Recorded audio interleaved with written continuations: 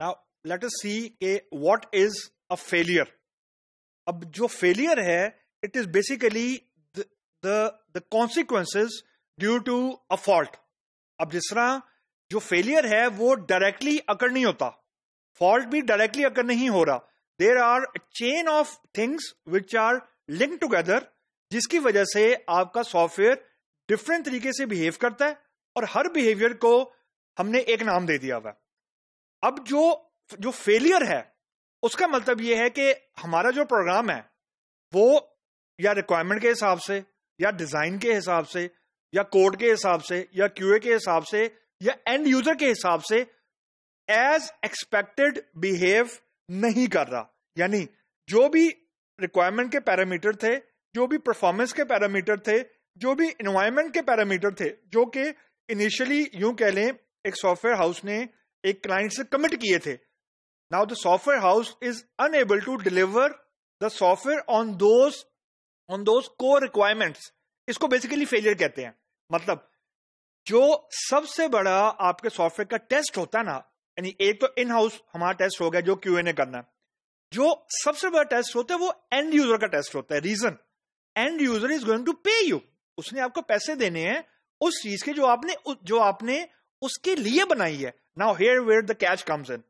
जो क्लाइंट है, वो नॉन टेकी है। यानी आप क्लाइंट को अब ये बिल्कुल नहीं कह सकते कि रिक्वायरमेंट सही गैदर नहीं हुई थी कोड में कोई गड़बड़ हो गई थी। नो अगर फॉर एग्ज़ाम्पल आपका क्लाइंट सिर्फ़ ये कह देता है कि जी लोडिंग टाइम बहुत ज़्यादा है।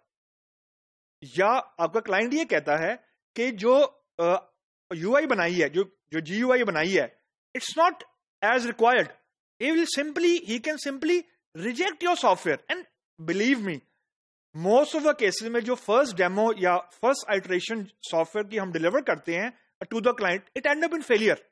बहुत रेयर होता है कि आपका जो जो फ़र्स्ट आइट्रेशन है, जो इसको हम लोग शिपेबल सॉफ्टवेयर कहते हैं शिपेबल सॉफ्टवेयर से मुरादी होती है कि हम उसको डिप्लॉय कर सकते हैं, जिसका हम लोग डेमो कर सकते हैं। बहुत कम होता है कि फ़र्स्ट आइट्रेशन में वो अप्रूव्ड हो जाए। अमूमन फ़र्स्ट आइट्रेशन में आपका सॉफ्टवेयर फेलियर को लीड करता है। अब फेलियर को लीड करने की रीजन अमूमन फॉल्ट होती है। और फॉल्ट अमूमन एसडीएलसी के किसी एक फ़ेज़ में भी फॉल्ट आ गई या एरर आ गया तो you will have a fault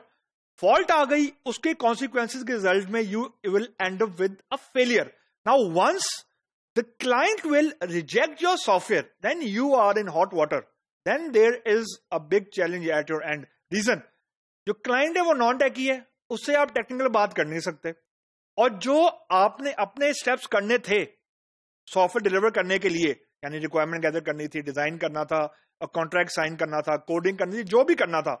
वो उस क्लाइंट के लिए ब्लैंक है। आपने कॉन्ट्रैक्ट साइन कर लिया client has nothing to do what you do internally in the software house उसके हिसाब से क्लाइंट ने आप, आपको पैसे दे रहा है now you have to deliver as per his requirement now as per his requirement वाली जो जो टर्मिनोलॉजी है ना this is where the problem come in के एक्सपेक्टेशन अगर सही सेट नहीं हुई हुई, या रिक्वायरमेंट सही गैदर नहीं की हुई डिज़ाइन सही नहीं हुआ हुआ किसी भी एक फ़ेज़ में कोई फॉल्ट आ गया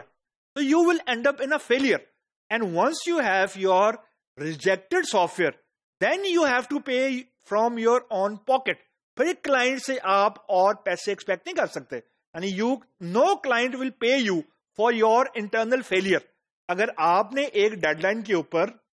जो कमिटेड फंक्शनैलिटी थी या कमिटेड सॉफ्टवेयर की जो फंक्शनैलिटी थी, वो डिलीवर नहीं की इट्स योर फॉल्ट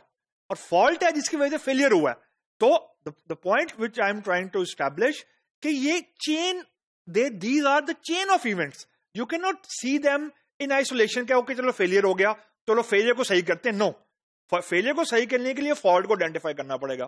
फॉल्ट को आइडेंटिफाई करने के लिए you need to look at the error कि एक्चुअली रूट कॉज क्या थी? सिम्टम हम सही करें रूट कॉज में ही जा रहे जब तक रूट कॉज सही नहीं होगी you can not have a non failure software और non failure shippable software at the client side